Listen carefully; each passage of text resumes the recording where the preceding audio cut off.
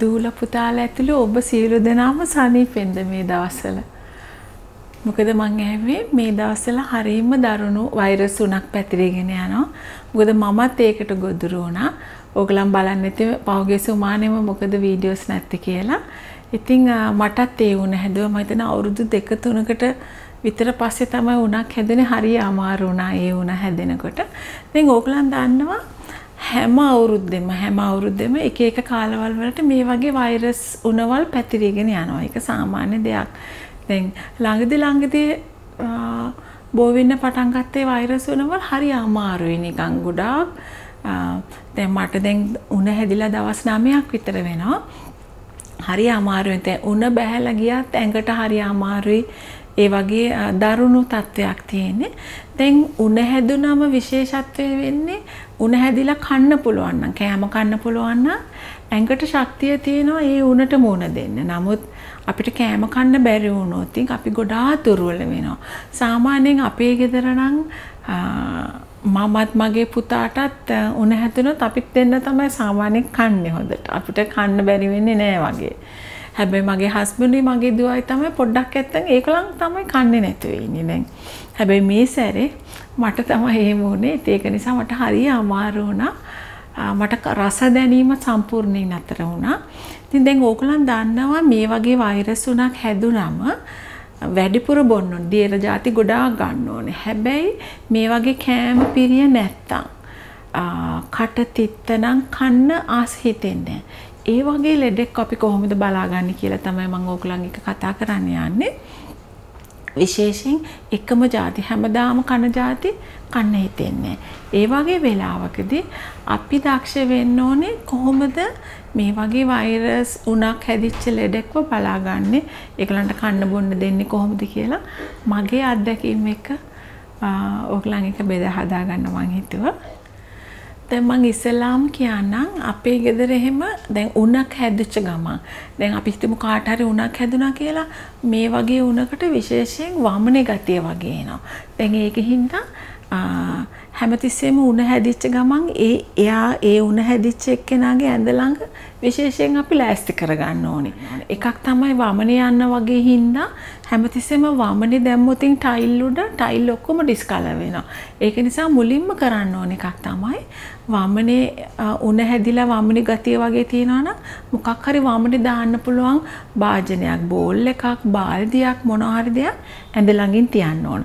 චූටි දුවෙක් හරි පුතෙක් හරි නම් කියන්න ඕන පුතේ වමනට එනවා නම් මේකට දාන්න කියලා. එයාවත් දැනුවත් කරලා තියන්න ඕනේ. එතනින්. දැන් මගේ ගෙදර නම් ඉස්සර පරණ ටී ට්‍රොලි එකක් තියෙනවා. මම ඒක අරගෙන යනවා.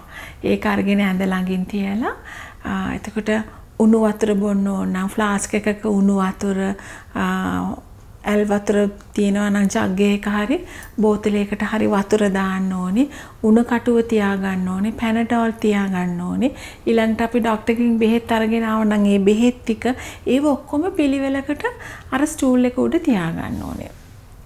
දැන් අනිත් එක තමයි සැරට උණ එනවා නම් සැරට උණ එනවා නම් නලල සැරින් සැරේ මොන හරි රෙදි කෑල්ලක් තෙම්වලා ඉස්සර නම් අයිස් තියෙනවා දැන් කියන්නේ සාමාන්‍ය වතුරේ ඕඩික්ලෝන් ටිකක් හරි දාලා නලලට තියන්න පුළුවන් ඒකට අවශ්‍ය බෝල් එකක් ඒකට වතුර ටිකක්. ඒ සේරම දේවල් අපි ලෑස්ති කරගන්න ඕන. මොකද මේ උණට හරි තද තද උණ එනවා මේ වෛරස් උණ හැදෙනකොට. 102ට 103ට උණ එනවා. ඉතින් ඒ වෙලාවට තද ඔළුවේ කැක්කුමකුත් එනවා. ඒක නිසා ඒ වලට ලෑස්ති කරගන්න ඕන අපි ස්ටූල් එක.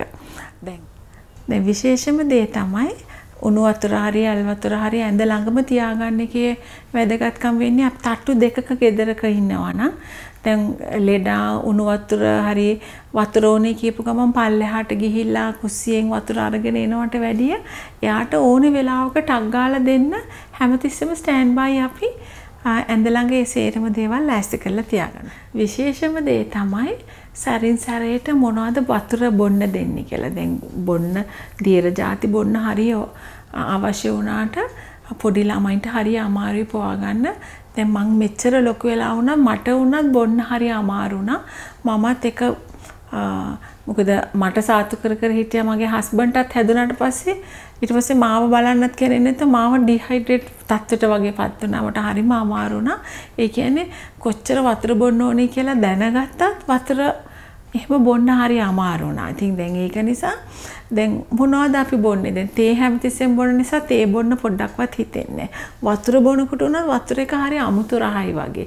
විශේෂයෙන් පොඩි ළමයින්ට හරි අමාරුයි පොවා ගන්න. හොඳම දෙයක් තමයි නාරං හරි දෙහි හරි ටිකක් හොඳට සීනි ටිකක් දාලා හොඳට ඩ්‍රින්ක් එකක් හදාගන්න පුළුවන්. ඊට පස්සේ කැඳ මොනවා හරි තියෙනවා නම් ලුණු කැඳ වගේ ඒ වගේ දෙයක් හදාගන්න පුළුවන්. වතුර. ಜಾති කීපයක්ම හදලා තියාගත්තොත් සැරින් සැරේට සැරින් සැරේට ඒව දෙන්න පුළුවන්. දැන් වතුරම බොන්න ඕනේ වතුර දාලා දැන් ඇපල් කෑල්ලක් හීනියට ඇපල් කෑල්ලක් කෑලි ටිකක් කපලා ළඟ තිව්වොත් මිදි ගෙඩියක් දොඩම් බික් ටිකක් එහෙම කපලා තියන්න පුළුවන්. වතුර කොමඩු වුණත් හොඳයි. නමුත් ඩෙන්ගුද කියලා බය හිතෙන නිසා සාමාන්‍ය ඩොක්ටර්ස්ලා කියන රතු පාට දේවල් කන්න එපා කියලා. මොකද වමනේ ගියොත් ලේ යනවද මොනවද කියලා හිතා ගන්න බෑ කොමඩු වගේ දෙයක් කෑවොත්. ඒක නිසා ඒ වගේ නැති වුණාට කමන්නේ. මම ගොඩක් ආසාවෙන් කාපු දෙයක් තමයි පිපිඤ්ඤා. දැන් පිපිඤ්ඤත් හරි වතුරනේ අර කට වේලිලා තියෙනකොට පිපිඤ්ඤ වුණත් හරි ෂෝක්. පිපිඤ්ඤ මේම දිගට කෑලි කපලා තිබ්බනම් හරි ෂෝක් එකට කන්න පුළුවන්. පිපිඤ්ඤා ඊළඟට මීති, දොඩම්, ඇපල් හීනියට කැපුවම ඒවත් හරි ෂෝක් මේ උණ හැදිලා තියෙන වෙලාවට කන්න. අනිත් එක ඕගලන් දන්නවා මම ඕගලන්ට කියලා දීලා තියෙනවා නාරන් ඩ්‍රින්ක් එකක් හදන හැටි වතුර වෙනුවට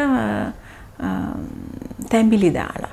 දැන් තැඹිලි දානකොට සමහරක් අය හෙම්බිරිසාවක් වගේ තියෙනවා නම් සමහරක් අය කැමති නැහැ. එහෙම එහෙම ප්‍රශ්නයක් නැත්තම් තැඹිලි වුණත් තැඹිලි වලට නාරං දාලා ඒ ඩ්‍රින්ක් එක වුණත් හරි ෂෝක්.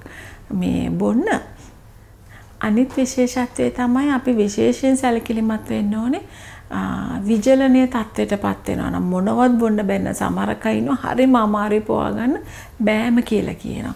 එහෙම වෙලාවක් වුණොත් හොඳට වතුර රත් කරලා නිබාගත්ත වතුරට ජීවනී ගෙනල්ලා ජීවනී හදලා තියාගන්න චූටි දරුවෙක් නම්. මට මතකයි මගේ ළමයි මගේ දරුවෝ දෙන්න පොඩි දවස්වල එහෙම හැදුනොතින් මම ඒගොල්ලන් කන්නේ බොන්නේ නැති වෙලාවට මම පැය දෙකක් විතර ඒගොල්ලන් එක්කම ඉන්නවා. ඉඳලා මම හදාගන්නවා ජීවනී නාරං එහෙම නැත්නම් දෙහි එහෙම නැත්නම් ලුණු කැඳ වගේ ಜಾති හතරක් පහක් හදාගන්නවා වතුර හදාගෙන වෙලාව බලබල මිනිත්තු 10න් 10ට හැන්ද හැන්ද කරලා ඒ වගේ පොවලා හරියටම හදාගන්න පුළුවන්. ඇත්තටම සේලයින් එකක් දෙන්න නැතුව ඒ වගේ ඒවා කරලා හදාගන්න පුළුවන්. එක ළඟ ඉඳගෙන ඒක කරන්න ඕන. වෙන කිසිම වැඩකට යන්නේ නැතුව ඒ වගේ කරලා මං දරුවන්ට එහෙම කරලා තියෙනවා. ඉතින් ලොකු අයට වුණත් සැරින් සැරේට අර මාරුවෙන් මාරුවට අරක බොනවා නම් දැනෙන්නේ දැන් නාරන් ටිකක් දීලා හවස් වෙනකම් ඕක බොන්න කිව්වොත් ඒක බොන්න හිතෙන්නේ නැහැ. ඉතින් ඒක නිසා විශේෂයෙන් බොනෝ අඩු නම් ජීවනී ටිකක් හරිම හරි හරි හොඳයි ජීවනී ටිකක් හදාගන්න පුළුවන් නම් එකක්.